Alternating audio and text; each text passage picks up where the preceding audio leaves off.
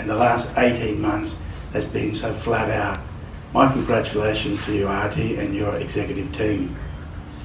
Sharing of the, um, the Meera project and stage production, I absolutely will be putting on our Facebook.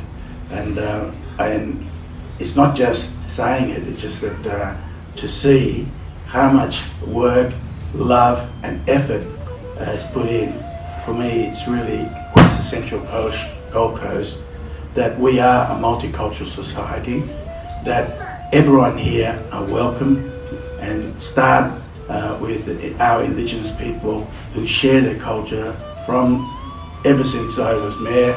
Uh, was the first thing that uh, the elder said to me, we're here to share our culture. And, uh, and with that, as I look throughout our multicultural community, everyone's on the same page there.